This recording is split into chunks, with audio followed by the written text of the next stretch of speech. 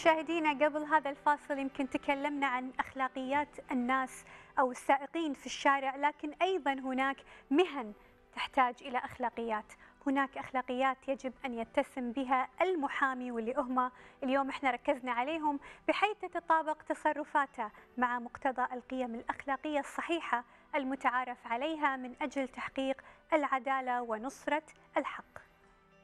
طبعا إحنا نتشرف بوجودكم ونحب نكرر بأن دائما المحامي لازم انه يكون عنده سلوك مهني أمام طبعا جهات الاختصاص القضائي وغيرها، سلوك يتسم طبعا بالمحافظة على الشرف والعفة والنزاهة صحيح. والإخلاص وغيرها طبعا من القيم والأخلاق النبيلة المستقرة طبعا بوجدان الإنسان. طبعا إحنا نقول لكل مهنة أخلاقياتها الخاصة لكن مهنة المحاماة يمكن أكثر حساسية لأن تدخل فيها نقول مفاهيم قوانين جريمة هذه امور بالضبط. لا يضمها كتاب أو دستور إنما تعتمد على من يحمل لقب محامي إنه يكون جدير بهذا المسمى.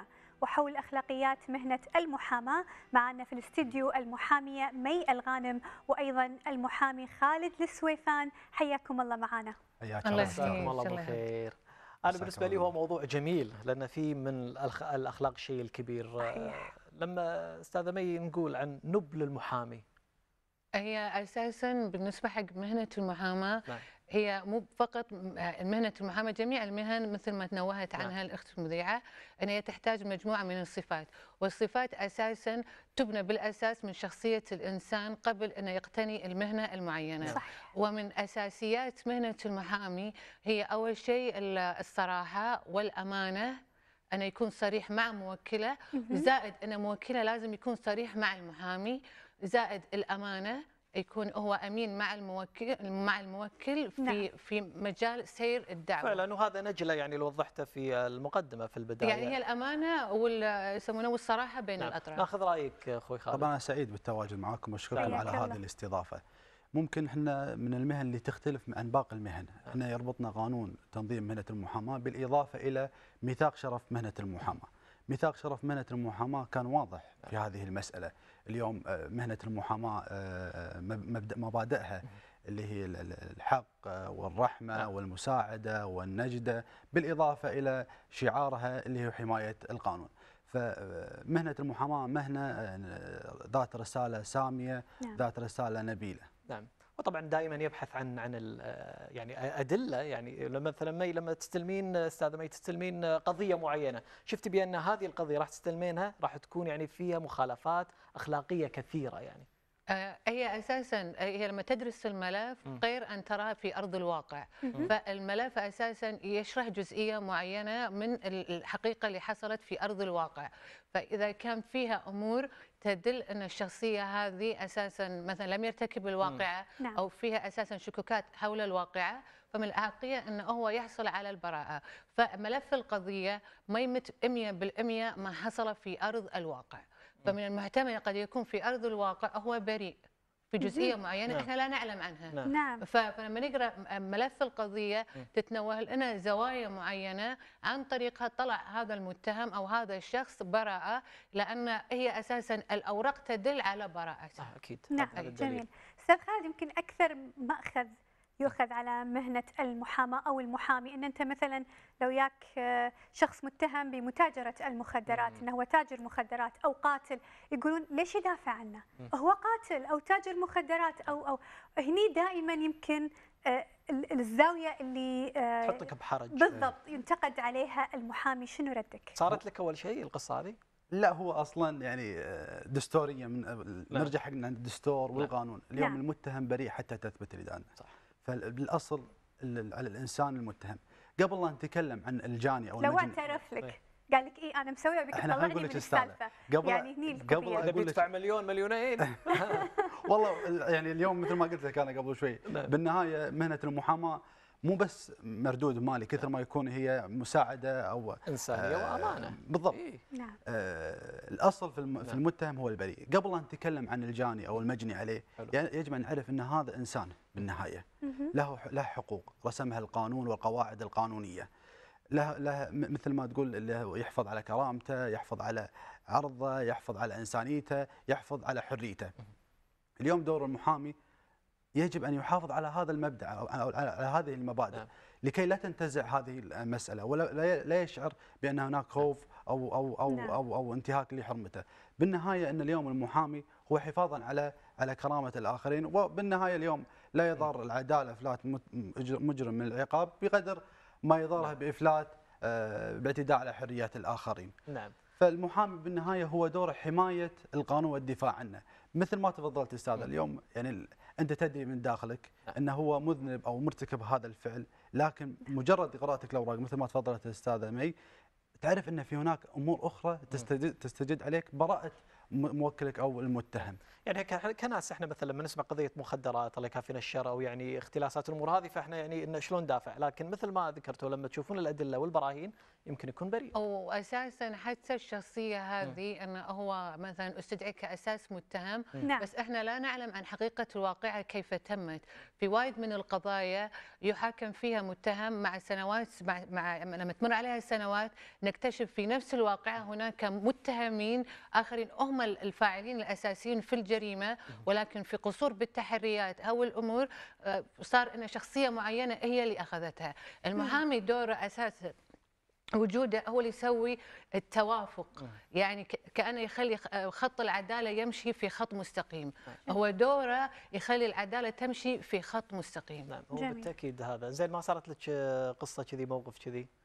يعني تقصد من هذا النوع مثلا قاتل آه تاجر مخدرات؟ يعني بس أنا لما ينعرض لي من أقواله نعم. وطالع في مثلا ملف القضية آه، ألقى فيها جزئية معينة تستدعي براءته.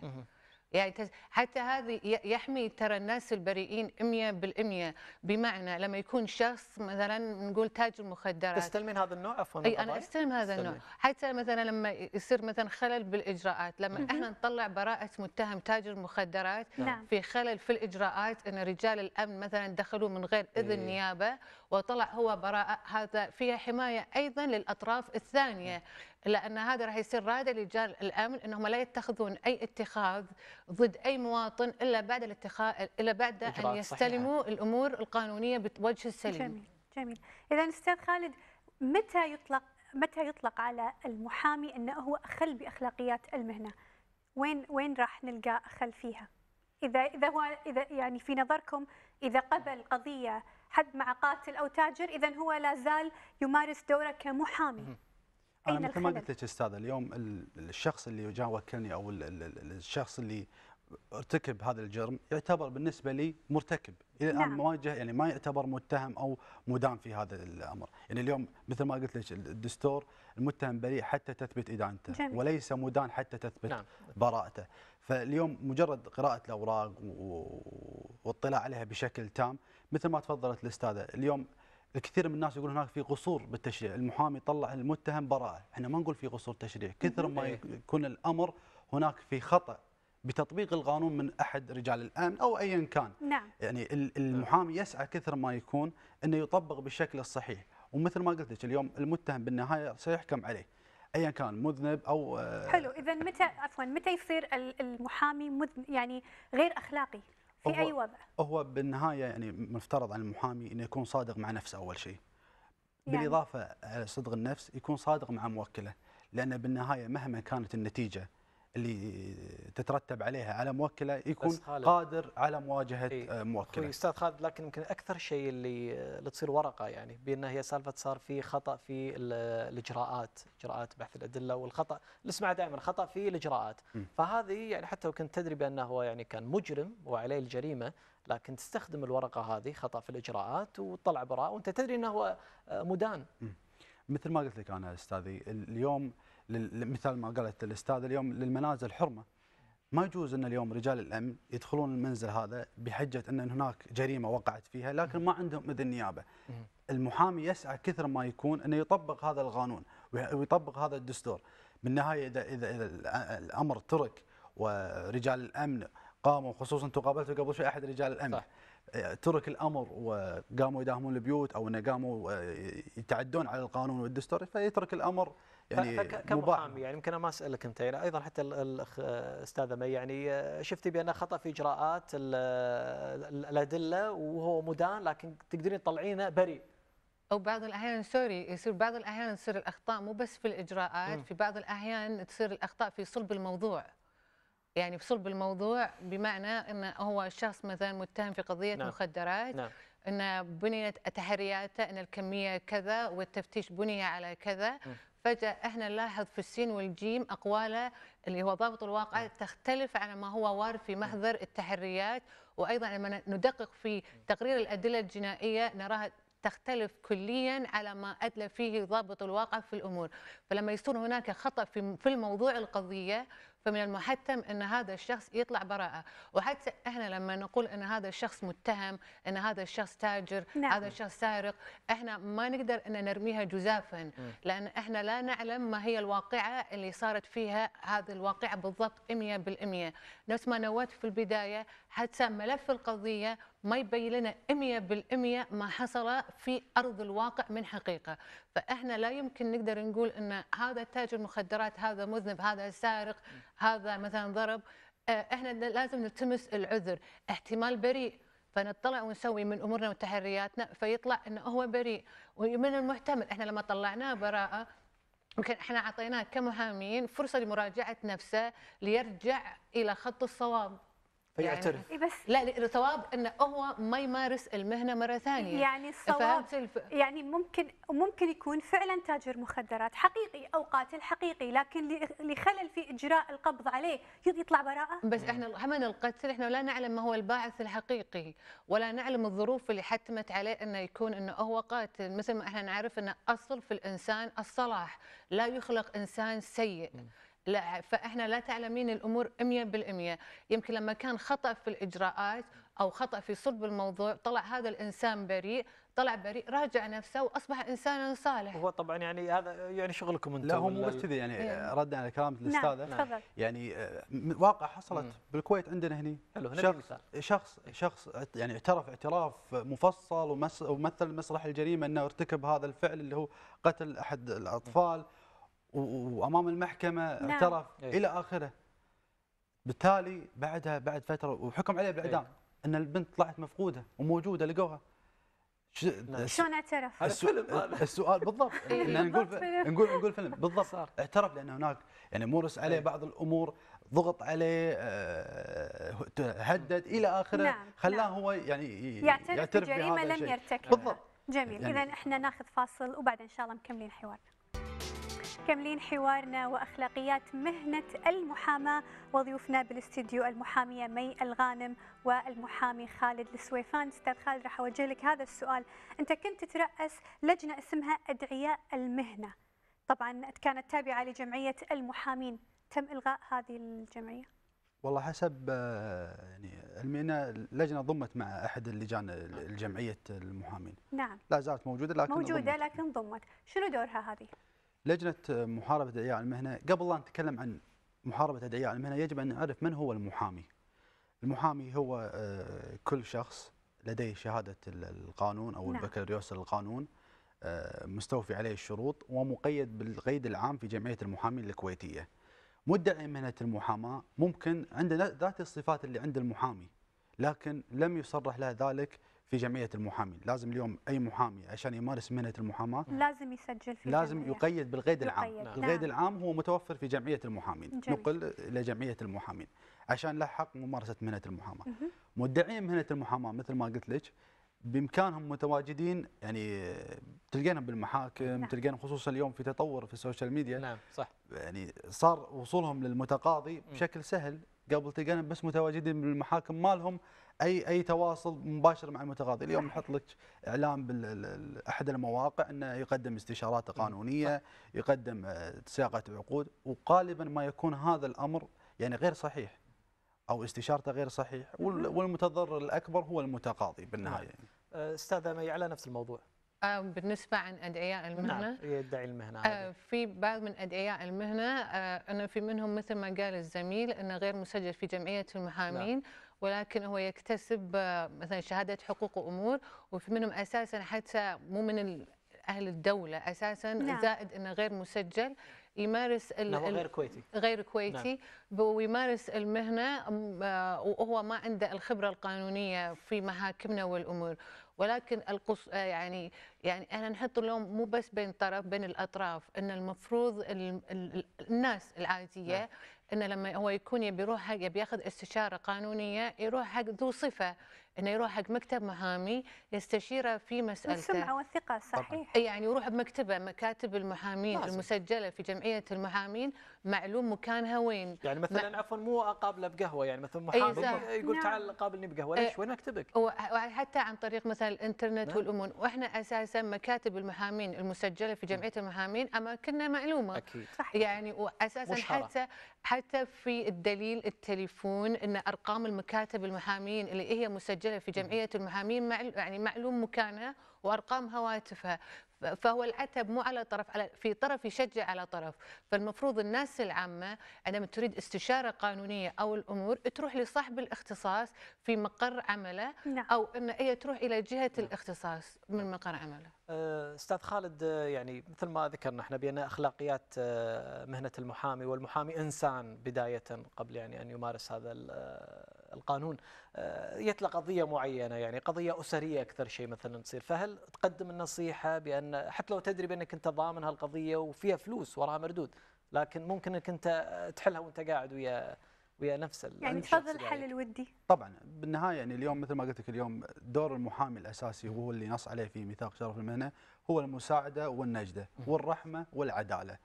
اليوم بالنهاية هذه أسرة. والمتضرر الأكبر هم الأبناء إذا كان في بينهم أبناء. فتحاول بقدر المستطاع أن تقرب وجهات النظر خصوصا اليوم قانون الأسرة نعم. مع وجود بعض الأخطاء والمثالب عليه لكن في بعض الشغلات المميزة فيه اليوم قبل لازم تروح ترفع دعوة طلاق بعدين تحال استشارات أسرية اليوم لا. تقدم طلب أمام لجنه استشارات أسرية يستدعون الطرفين إن وجد صلح بينهم كان بها ما وجد بالنهاية يتم رفعه إلى المحكمة وتحدد في جلسة موضوع. طبعا بالنهاية أنت كثر ما تقدر مثل ما قلت لك تصلح ما بين الطرفين لأن المتضرر يعني الأبناء نعم. يعني الزوجة بإمكانها الله يوفقها وتزوج وكذلك الزوج بإمكانه انه يتزوج. سويت كذي على طول وين بترزق الله؟ أنا قلت لك إياها اليوم هو رزق على الله سبحانه الله يعني بالنهاية السوق مفتوح والمحامين موجودين أكيد الارزاق موزعه بكل المهن أكيد. أكيد. نعم هل صحيح أن هناك قضايا تكون قضايا شخصية نوعا ما؟ آه، يعني مثلا قضية شخصية هي وليست حقيقية يعني ممكن شخص يشتكي على شخص بسبب أمور شخصية بينهم. عرفت شلون؟ أو ساعات يكون أو المحامي حاط بباله مثلا واحد. بالضبط. طبيعي مو ما نتكلم إحنا المحامي كثر ما نعم. نتكلم الأفراد. اليوم في هناك شكاوي وفي بعض نعم. القضايا كيدية تكون. أيوة. الهدف منها نعم. آه، حقد أو الهدف منها الانتقام أو الهدف منها بس فهني المحامي لما يدري إنها انتقامية ويشارك فيها. هل هذه من أخلاقيات المحامي؟ المحامي بالنهاية نعم. اليوم يعني إنسان مثل ما قلت لكم يعني نعم. ما يدري شنو الصحيح أو الحقيقة أو نعم. الواقع اللي حصل بعد ما يقرأ ويبحث ويشوف يعرف إن هناك في حقيقة في هذا الموضوع. نعم. أستاذ مي كذي خلينا نتكلم شوي عن عن الواقع يعني أغرب قضية جت لك. لا أنا بالنسبة للقضايا لكل قضية لها مسألتها نعم. فأنا يعني بالنسبة لي القضايا ما عندي يعني قضية يعني مميزة غير عن الثانية نعم. لأن هذه عبارة عن أمور أشخاص نعم. وكل شخص يقدر قضيته أن هي أساسا المؤلمة أكثر من غيرها المهمة يعني فأنا بالنسبة لي يعني القضايا يعني أراها في عيون أفرادها اللي هم يو يعني وكلوني فيها هذا هذا شيء ممتاز. لكن نبي شيء غريب إذا عندك شيء أنا أقول لك غريب يعني أنا ما أقول لك كقضية كثر ما يكون يعني واقع حصل وياي نعم. كوني كنت رئيس لجنة الدياء المهنة. صح. نعم. يعني من ضمن الأمور اللي حصلت وياي كنت أسولف ويا الاستاذ قبل شوي شخص من أحد الجنسيات وكلوا زوجة إنها ترفع دعوه على زوجها. نعم. قام الشخص هذا وكتب لها الصحيفة ورفعت الدعوة. تالي عرفت انه هو ذاته اللي كان يرد عليها في الجلسة هو نفسه.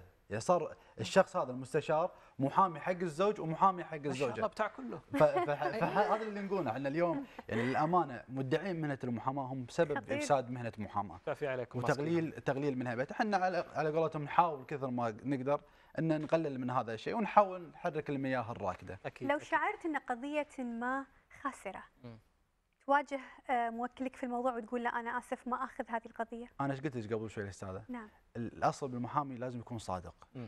وتكون واضح مع موكلك وميثاق شرف مهنه المحاماة نص نعم. بأن المحامي يبذل الجهد والعناء ما يبذل النتيجة نعم. فاليوم من البداية إن كنت صادق مع موكلك ما وعدته بنتيجة ايا كانت النتيجة خصوصا بالجنايات اللي يعني فيها أمر ارتباط بحرية شخص. نعم. صحيح. لو لو إعدام تقدر تواجه لأنك أنت من البداية كنت واضح. وأنا يعني مثال ذلك. أنا عرض علي. عرض علي كثير من الموكلين أنك توعدني بنتيجة. نعم. قلت لك ما أوعدك بنتيجة. في مثل أبيع لك سمك ببحر؟ أنت طبيب ما أبيع لك سمك ببحر. فبالنهاية ما توعد بنتيجة ما توعد بنتيجة نعم. طالما أنك يعني واثق من أمر.